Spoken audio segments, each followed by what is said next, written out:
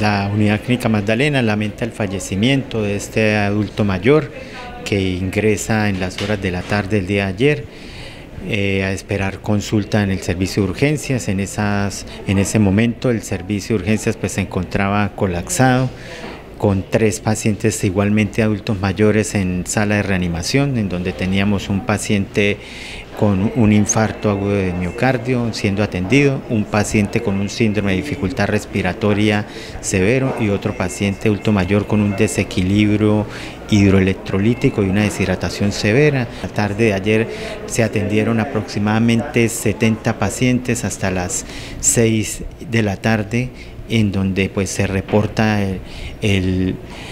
eh, decaimiento de un paciente que estaba en sala de espera, a la espera de ser atendido, inmediatamente se pasa a, sala, se atiende, se inician maniobras de reanimación y el paciente finalmente fallece.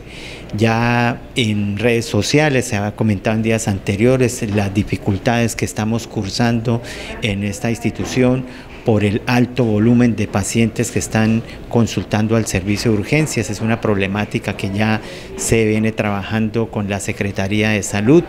con el Ministerio Público, en donde la Defensoría del Pueblo y la Personería han sido garantes de este proceso que estamos llevando con la CPS, en el cual se está buscando mejorar la oportunidad de la consulta ambulatoria en el nivel básico y la implementación de la consulta prioritaria para poder bajar la carga de la demanda de servicios de urgencia en la población, en donde desafortunadamente la Clínica Magdalena, al ser la institución de salud de mayor complejidad de toda la región. Todos los pacientes que ingresan son sometidos en el momento cuando se ingresa un paciente, pues los familiares si no manifiestan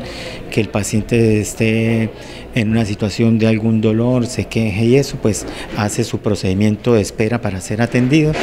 Pero en ese momento y dada la alta congestión, el alto volumen de